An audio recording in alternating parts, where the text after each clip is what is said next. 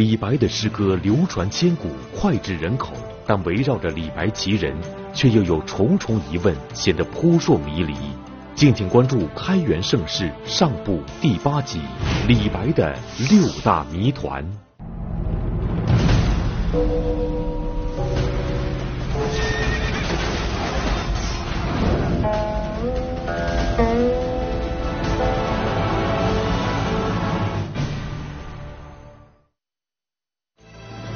李白人称诗仙，他的诗歌代表着盛唐的文学高峰。没有他，中国文学史将缺少一颗璀璨的明星；没有他，唐朝的文化将缺少很多豪迈的气息。他的诗歌是盛唐气象的最好代言。开元盛世正是因为有了李白和他的诗歌，才有了泱泱大国在文化上的流光溢彩。但李白才华横溢，为什么从不参加科举？李白又有怎样的婚姻生活？这些疑问扑朔迷离。揭开谜团，我们究竟会看到一个怎样的真相？山西师范大学于耕哲教授做客百家讲坛，为您精彩讲述系列节目《开元盛世上部》第八集：李白的六大谜团。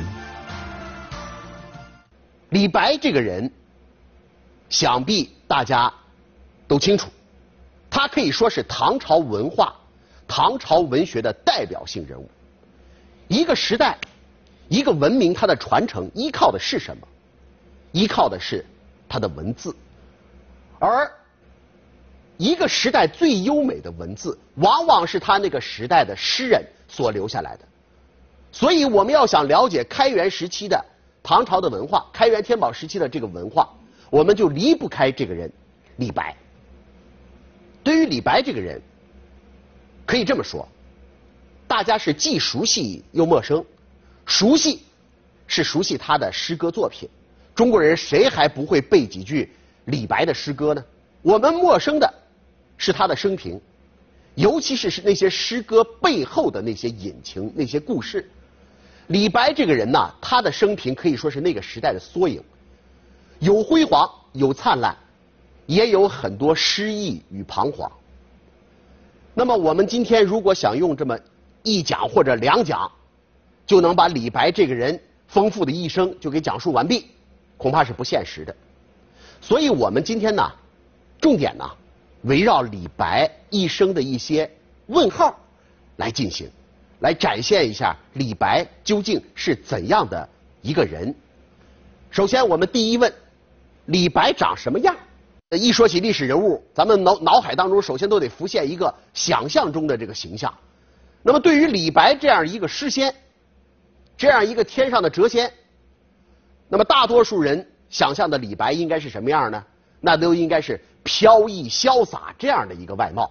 你还别说，李白在这方面啊，还没太让大家失望。我们经常能够看到的一幅李白的画像是这个样子的。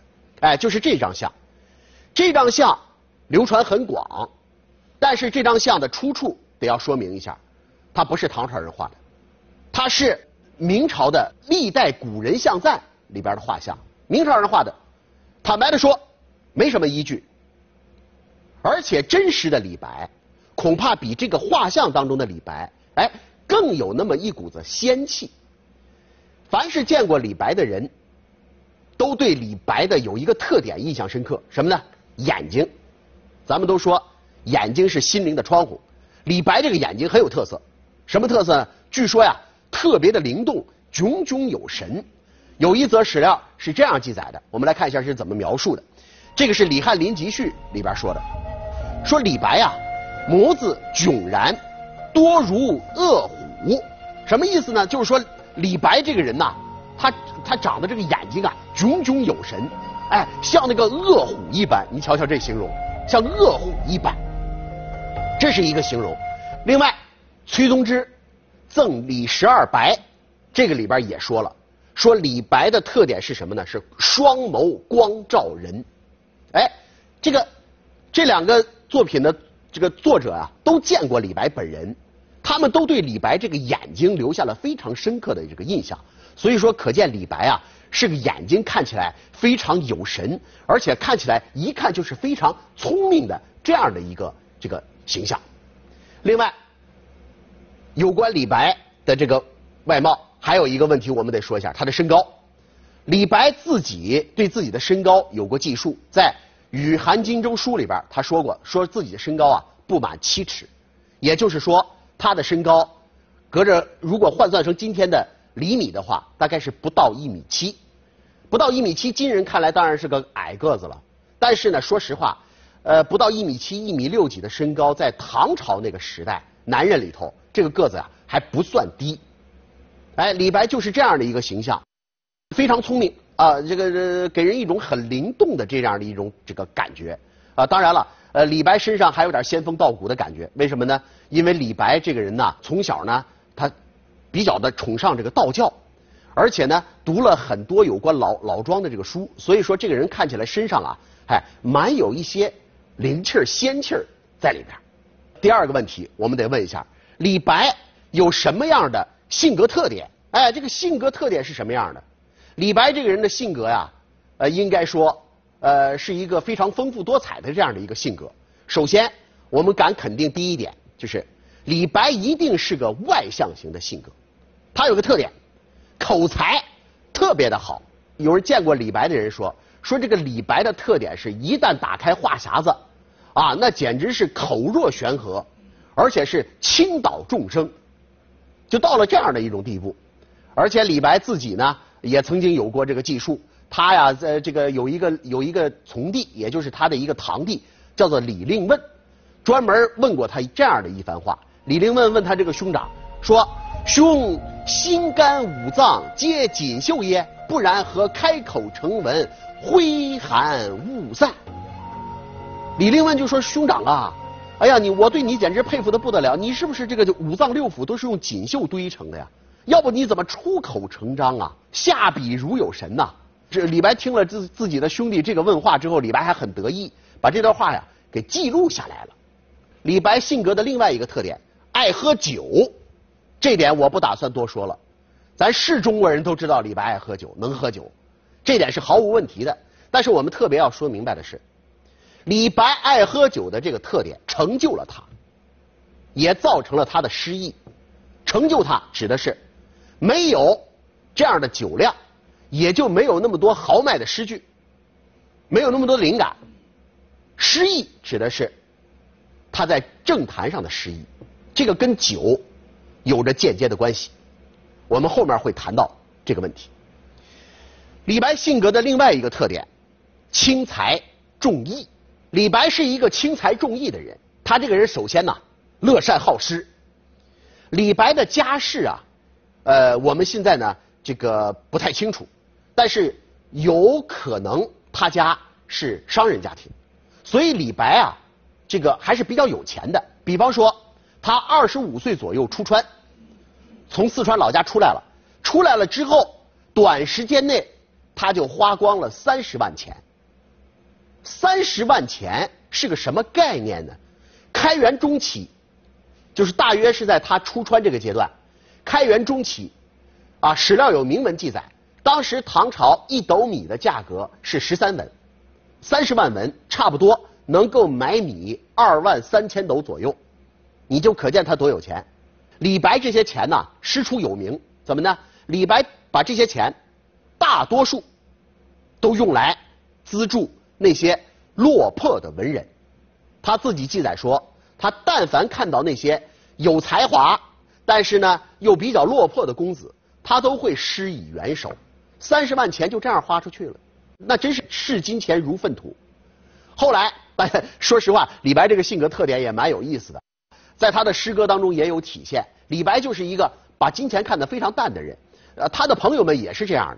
比方说，咱们举个例子，李白有个千古名篇叫做《将进酒》，《将进酒》里边是怎么样描述的？里边有这样的一段话，这段话是这样说的。主人何为言少钱？啊，径须沽取对君酌。五花马，千金裘。呼儿将出换美酒，与尔同销万古愁。哎，这诗写的非常的好，非常的漂亮。我小时候读这个诗的时候啊，我的我的第一个感觉是，哟，你看人家李白多豪爽，对吧？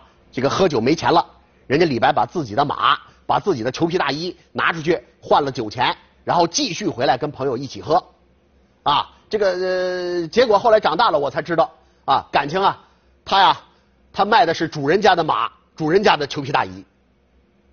你说这有意思？那个主人是谁呢？就是那个他提到的这个丹丘生，也就是袁丹丘啊。他跟袁丹丘说：“你这个怎么说喝酒没钱了？你家不是有这个马吗？不是有这裘皮大衣吗？”来，让你家小儿拿去换美酒吧。合着你慷你慷他人之慨，你专业坑队友啊你！啊，我当时看了之后，真觉得这事儿啊蛮蛮搞笑的。但是这是今人思维，实际上您要理解那个年代文人的思想，那个年代的人，尤其是文人之间，讲究的就是视金钱如粪土，轻财而重义。所以说，对于李白来说，对于他的朋友们来说，这马和这和这裘皮大衣是谁的无关紧要，对吧？换美酒，所以说钱是谁的这个不重要。李白接济，你想想，李白接济别人的时候，李白不也没有眨过眼吗？李白性格的另外一个特点，我们来看一下，什么呢？有侠气。李白自己记述说，他以前曾经杀过人。这个史料是这样子，它来自于这个《李翰林集序》里边是这样说的：说少任侠，手刃数人。你要知道，《李翰林集序》的作者是魏浩，魏浩有关李白的生平这些事情，主要都是来自于李白自己的自述。也就是说，李白自己就说过，说自己少年时任侠，而且杀过人。李白自己有一首诗叫做《侠客行》，里边好像是也暗示过自己杀人。我们来看一下《侠客行》里边是怎么说的。他说：“十步杀一人，千里不留行。事了拂衣去，深藏身与名。”这里边问题就出来了：李白真的杀过人吗？李白这个人呐，爱练武，大概是孔武有力之人。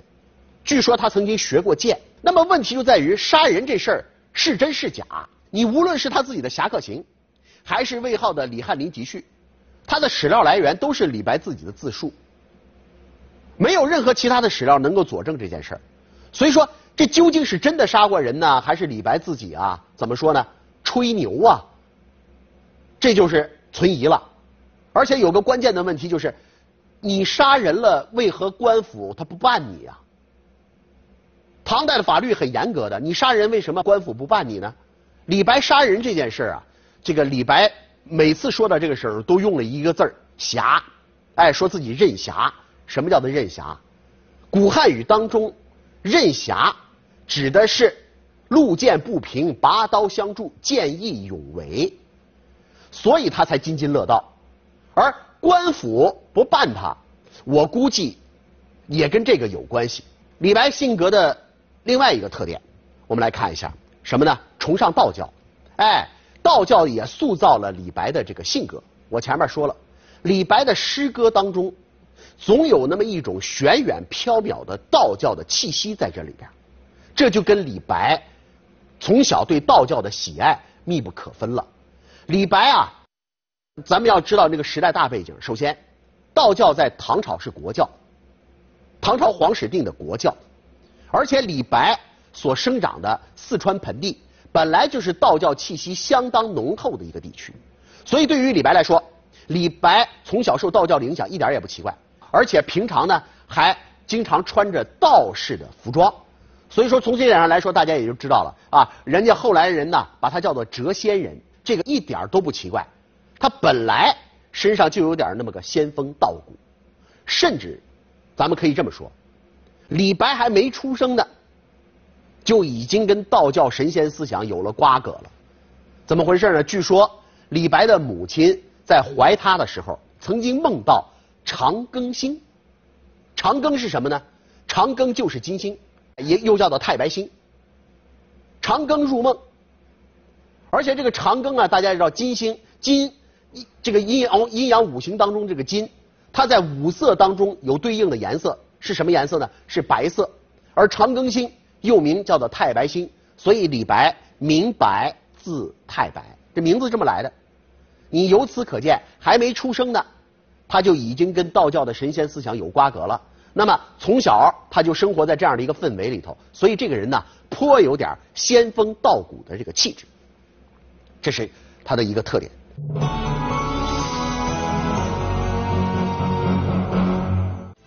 李白的诗歌瑰伟壮丽，他的过人才华让后人仰慕不已。关于他小时候也有很多传说，其中铁杵磨成针的故事一直是后人励志的榜样。那么，李白小时候铁杵磨成针的故事是真是假？长大后满腹诗书的李白又有怎样的胸怀抱负呢？请继续收看《开元盛世上部》第八集。李白的六大谜团。下面我们还有疑问，第三问：李白小时候啊，那个铁杵磨成针，确有其事吗？咱们中国人都知道李白小时候的一个故事，这个故事那简直是脍炙人口，就是铁杵磨成针。说李白小时候啊，这个读书不愿意好好读啊，想逃学回家，结果走在路上呢，在溪水旁边看见了一位老婆婆。正在那个一块石头上，正在那儿磨一根铁杵，也就是一根铁棒。然后呢，这个李白就站在旁边看，还问这个老婆婆说：“老婆婆呀，你磨这个铁棒，你磨这个铁杵要干什么呀？”老婆婆回答说：“我要做针。”啊，这个李白就笑说：“是你这个这么一这么粗的一根这个铁棒啊，这得磨到何时啊？”结果老老婆婆回答了一句话：“只要功夫深，铁杵磨成针。”哦，这个故事，但凡现在的中国人，小时候幼儿园、小学里头都得讲这个故事，告诫孩子们要戒骄戒躁，要认真的做事。这个故事流传非常广，可是问题就在于这事儿是真是假呀？现在看来，这个故事虚构的可能性相当的大。我们为什么说它是虚构呢？首先，第一个，这件事儿。不见于李白自己的记述，李白也好，给他写过生平记述的魏浩也好，还有那个李阳冰也好，他们对于这件事儿都没有任何的记载。而李白本人，说实话啊，李白本人是一个很爱记述自己小时候事迹的人，他往往津津乐道。你比如说，小时候我在哪儿学习过？我曾经跟向谁学习过？啊，等等等，这些都有记述。甚至于他小时候的爱好，比方说他记述过，说我爱养鸟，而且养鸟他还是个高手，养了一千多只野鸟。这些鸟来去自由，但是都听他的，以至于啊，当地的长官听说了之后都跑来看热闹。而且这些事儿他都记述了。可是这样一个有趣而励志的故事，他却没有任何记载。这是第一个。疑问。第二一个，这个故事主要出自于宋代的有一本书，叫做《锦绣万花谷》。《锦绣万花谷》里边啊，说说这个故事发生在四川的梅州。梅州那个地方有一座象夷山，象夷山旁边呢有一个地方叫做五世岩。据说就。呃，这个李白在梅州象夷山学习，然后呢想逃学回家，然后就在五世岩这个地方遇到了老婆婆，如何如何，就是刚才那个故事。但是这问题就出在这儿了啊，呃，你要知道，这个自打《锦绣万花谷》说了这个事儿之后，你像《方舆胜览》呐，什么《山堂四考》啊，这些书都记载了此事。这个说法是盛盛行一时，但是问题就在于李白。有没有过在梅州学习的记录？现在看来是没有的。李白的家乡是四川的江油，他小时候曾经在江油的大匡山这一带学习。这个地方还有宋神宗时期立的碑，专门记述此事。而且呢，这个李白在这个《上安州培长史书》当中也说过，说他小时候除了在这个。呃，大匡山学习之外，他还曾经在岷山之阳学习过。岷山之阳是哪里呢？学者经过考证之后认为，就是今天四川著名的青城山。也就是说，李白小时候没有过在梅州象夷山去求学的这样的一个记录。所以，综合以上两点，我们要说这个故事虽然非常的励志，但是呢，它呢有可能是虚构的。不过，这个故事里边那种戒造的这个教义啊，这个故事的这个寓意还是相当好的，所以这个故事流传的非常的广。好，有关李白的，我们有第四一个疑问：李白有怎样的胸怀抱负啊？作为一个文人。才高八斗的文人李白有怎样的胸怀抱负？说实话，李白的胸怀抱负和当时同时代的其他人的胸怀抱负，应该说没有太大的两样，就是要匡扶天下。正如他自己在诗歌当中所说的，他说：“欲献计时策，此心谁见明？”啊，我要献计时策。啥叫计时策？那就是安邦定国的方针政政策吗？也就是说，李白怀揣着一个得登相位这样的一个理想。我们可以看到，李白后来一生的所作所为啊，都是这种思想的左右的结果。你可以看到，李白，咱们坦白的说，李白真的是很想当官。这点咱们不用讳言，在这一点上，他跟当朝当时唐朝的其他的士人没有任何的区别。你比方说，为了当官，他也曾经请托别人；为了当官，他也曾经高兴过、苦恼过。你比方说，当了翰林待诏的时候，他也曾经欣喜若狂；后来被免官了，他也曾经非常的这个失意。那么这里边问题就出来了：我们是要不要因为李白？有这么大的官瘾，而贬低李白这个人，而对他进行负面的评价呢？要我说，大可不必。说实话，我觉得在那个年代，有官瘾这件事想当官这件事是一个中性的事情，无所谓好，也无所谓坏。为什么这么说呢？您要知道，那个年代的人呐，尤其是知识分子，他们的人生出口。那是相当狭窄的，什么意思呢？也就是说，在当时的知识分子心目当中，你要想安邦定国，只有一条路，啊，你要想实现自己的人生价值，啊，想发挥自己的社会价值，你只有一条路，那就是当官，别无他途。它不像现代社会，现代社会我们的人生出口是多元化的，啊，你这个可以当公务员，对吧？你也可以当教师，你也可以当科学家，你可以当医生，你可以当工人，你可以当农民。你不管干什么，都是对社会做贡献，而且也有途径让你能够实现自己的社会价值。但是那个年代就不一样啊，那个年代说实话，你不当官的话，你怎么样实现自己的这些抱负呢？所以对于李白来说，他想当官这一点应该说是无可厚非的。正是因为李白这种天才诗人的不断涌现，大唐帝国才被称为诗歌的王朝。但奇怪的是。满腹诗书、天纵英才的李白，终其一生却从没有参加过科举考试。他是担心自己考不上，还是另有隐情呢？那么，我们关于李白还有一个第五问，什么呢？李白为何不参加科举？科举这件事情，我们知道，这可是中国古代政治文明的一大贡献，甚至于对整个这个全世界。都产生了巨大的影响。法国大革命前夕，法国那些启蒙思想家对中国的科举是推崇备至，因为科举打破了贵族对政治的垄断，使得所有的人都获得了平等的权利，参加政治活动的这个权利。所以，科举的意义相当的重大，它也是现代全世界文官制度的一个基础。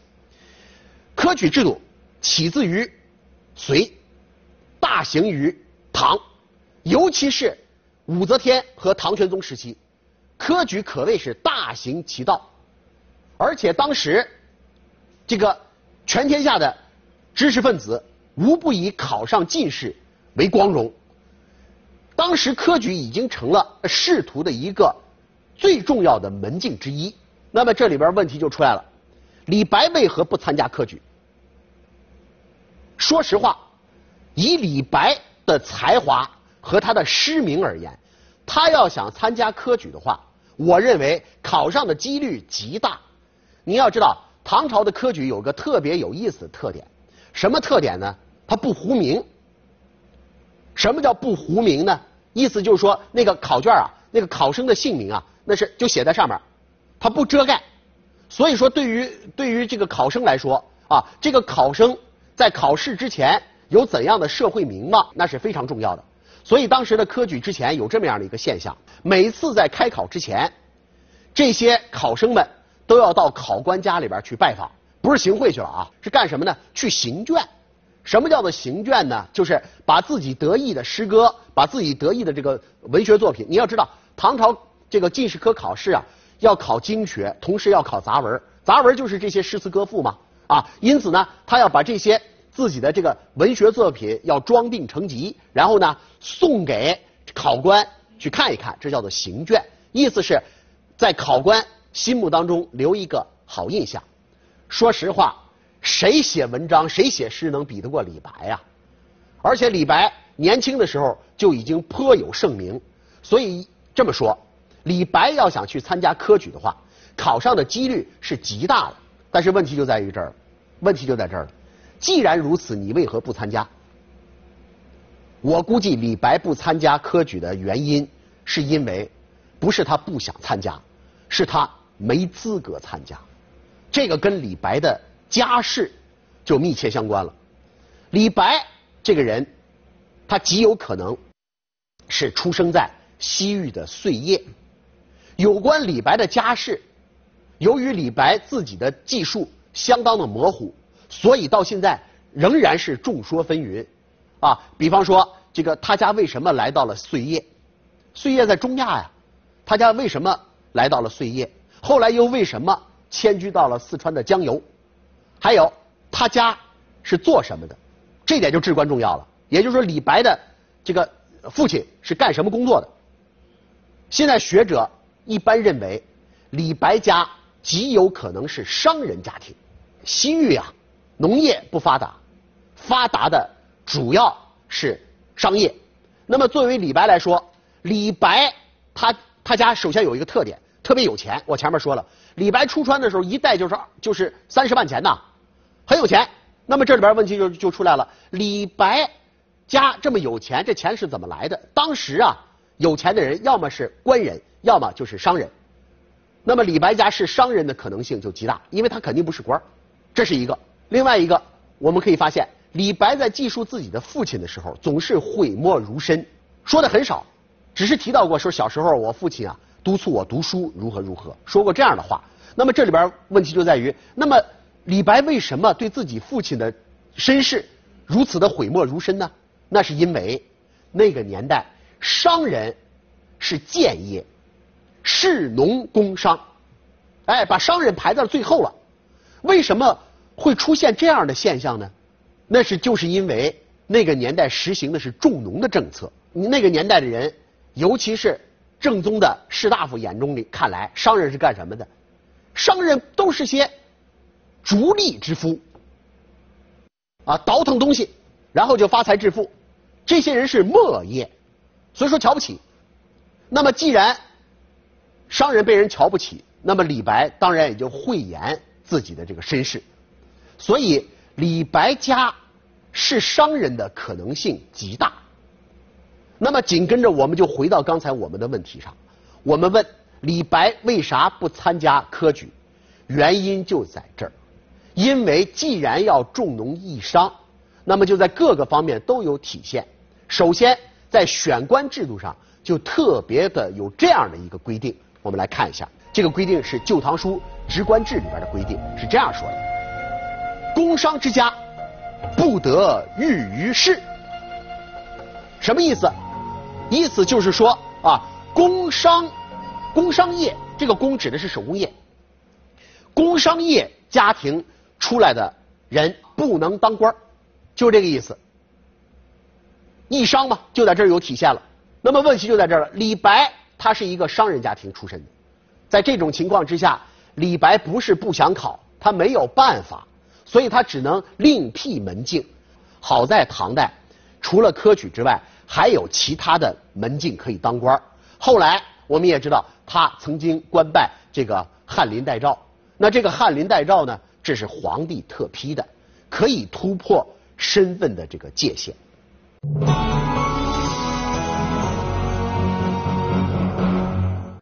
李白是大诗人，我们都熟悉李白的诗歌，但对于李白的家庭生活，我们一般人就知之甚少了。而俗话说“家和万事兴”，家庭内部的和谐与否，对一个人事业的成功有相当大的影响。那么，在李白起起落落的人生中，他又有怎样的婚姻生活呢？请继续收看《开元盛世上部》第八集。李白的六大谜团。下面我们再看一下有关李白的第六个问题：李白有怎样的婚姻状况？哎，也就是说，李白的婚姻家庭是怎么样的？说实话，婚姻家庭对于一个人来说实在是太重要了。那么，李白有怎样的家庭生活呢？有关李白的婚姻状况，这个魏浩的《李翰林集序》。里边有过记述，他给李白总结了一下，李白的一生一共有四段婚姻，其中有两段算是正式的，有两段是非正式的。那么我们下面就分别来看一下。首先我们来看一下李白的第一段婚姻，他的第一段婚姻是入赘许家，这是怎么回事呢？李白在二十五岁左右，他就出了四川盆地。他为什么要出要出来呢？很简单，啊，他才高八斗，胸怀大志。四川盆地那个小小的天地已经无法容纳他了，所以他要出来。那么出来之后去哪儿呢？他刚开始选的目的地是云梦泽，这是怎么回事呢？因为李白啊。李白也有自己崇拜的文学文学偶像，他崇拜谁呢？他首先就是崇拜的就是汉代的司马相如。司马相如曾经写赋专门的盛赞过云梦泽的这个美景，所以李白就选择自己出川之后第一个目的地去哪儿呢？哎，我去看一看云梦泽。大家也知道，云梦泽在今天的江汉平原上。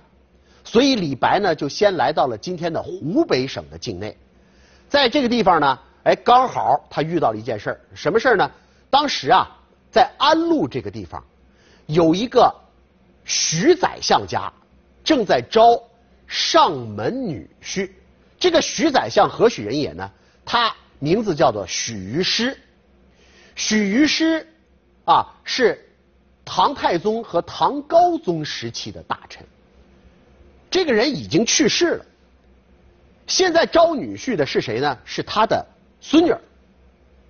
那么李白就娶了许家的孙女，等于是入赘上门了，当了个上门女婿。那么这里边问题可也就出来了，怎么呢？你要知道入赘这件事啊，在中国的传统文化当中是一个非常特别的事情。怎么个特别法呢？入赘会让别人瞧不起。我们今人当然不应该再有这样的思想。婚姻是两个人的事情，谁到谁家这个一点儿都没有关系。只要我们的基础是爱情，只只要是这一点那就可以了。但是那个年代的人不这样认为，入赘很丢脸。那么这里边就存在一个问题：李白为何要入赘？难道是因为李白穷吗？大家知道李白不穷啊。我刚才说了。他这个一出手，很快就花光了三十万钱，他并不穷啊。所以说经济原因恐怕不是李白入赘的原因。那么这里边就要问有没有第二个可能呢？我估计有。这个可能是什么呢？大约李白是想借助许家的名望和人脉资源，给自己的仕途打开一扇门。这个想法实现了没有？成功了没有？坦白的说，没有成功，这是后话。这个许氏啊，跟李白之间的感情看起来是很不错的。李许氏，我们可以感觉到她是一个非常温良贤淑的这个女性。李白呢，在写在自己的诗歌当中记述说自己云游天下的时候啊，时不时就接到妻子催促他回家的这个信件啊，表达自己对丈夫的这样的一种思念。而且呢，两个人还曾经生儿育女，生了一男一女。女女儿呢起名叫做平阳，这个儿子呢取名叫做伯禽，小名呢叫做明月奴。所以说，这个夫妻两个应该说啊，感情还是相当的不错的。李白虽然入赘了许家，想通过许家呢给自己呢增加一点资本，但是啊，你从他的诗歌当中你能感觉到，他内心呐好像对这一点也不是非常的心安理得，还是有点儿还是有点儿这个自己的想法的。有一首诗里边他是这样说的，他说：“折莫姻亲连地成。”不如当身自赞英，什么意思？那意思就是说，哎呀，我呀还是想通过自己的努力给自己换取功名，不要靠那个姻亲。啊，他还曾经抒发过自己这样的一个胸怀，所以说他这个入赘许家，李白在自己的心理上可能是仍然有那么一丝的不安。结果，李白与许氏之间的这个婚姻大概。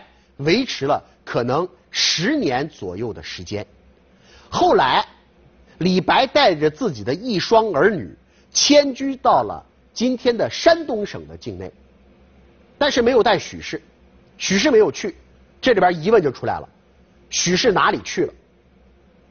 现在看来，许氏应该在那个时候可能是去世了，不过也有人有疑问，说去世了。那么为何李白的诗歌当中没有体现呢？为何没有悼亡诗啊？那么许氏啊，你的妻子去世了，你为何不写悼亡诗？我估计这个问题是这样：悼亡诗肯定有，只是没有流传下来。李白的很多作品，说实话我们都见不到。他的作品当中遗失的是大多数。李白现在留在现在的诗歌是多少呢？九百多首，这只是他作品的一少部分而已。还别说李白了。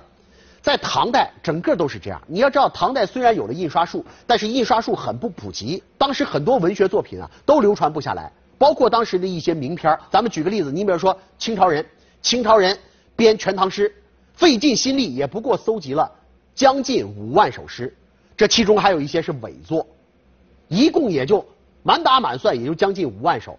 那您能相信，唐人三百年啊，就写了不到五万首诗？平均每年不到两百首，可能吗？不可能。大多数作品没有流传下来，所以说给许氏的悼亡诗，我估计也是流失了。这是李白的第一段这个婚姻。李李白的第二段婚姻啊，结识刘氏。李白到了山东，然后呢住在哪儿呢？住在了兖州这个地方。这个地方距离曲阜啊不是太远。然后李白在这个地方。认识了一个姓刘的这个妇人，但是李白的这段婚姻恐怕很不愉快。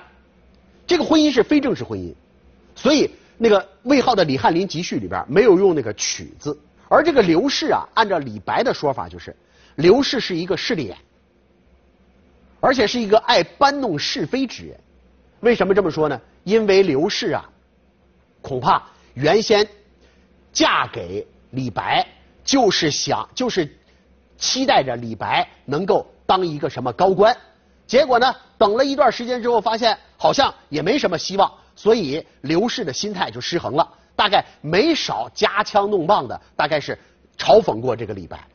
所以说，这个李白与刘氏之间呢，恐怕夫妻感情相当的差。后来两个人离异了，这是李白的第二段婚姻。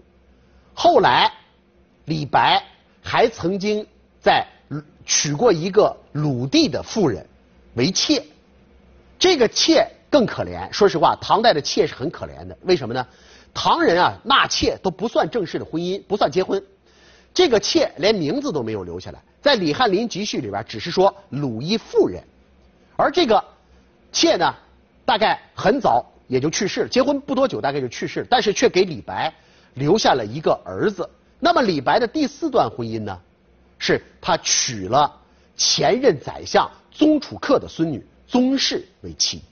这个婚姻，这个宗氏是一个相当识大体而贤惠的女性，而这个婚姻呢，也跟李白后来的政治生涯啊紧密的结合在一起。说实话，以李白的胸怀抱负，以宗室的那个家庭地位而言，他们不可能注定了他们这个婚姻肯定会有很多的事情发生。